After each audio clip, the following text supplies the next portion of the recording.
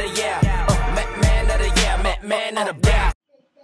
So guess what, man? I was sitting around the crib the other day thinking, well, you know what? My birthday's coming up. What am I going to do? Guess what, Peoria? I'm coming back. If you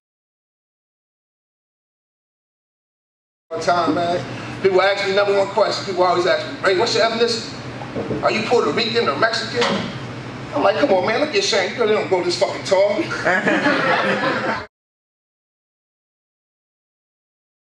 Mike, who, what you gonna start a rumor that I sucked at the comedy show? I'm gonna be like, they lying. There's eight people in this motherfucker. What y'all gonna say? Ray suck. I'm like, yo, fucking lie. I got a DVD. Guy was funny as shit last week.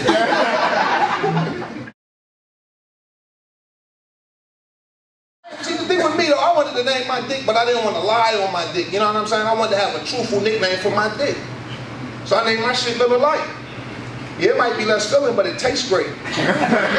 Nine o'clock, Karina's Bar, right there, 1801 South Adams Street in Peoria. Make sure you come out and kick it with me, man. I appreciate all the people that showed me love. Like two weeks ago at my man Eddie Parker's birthday party.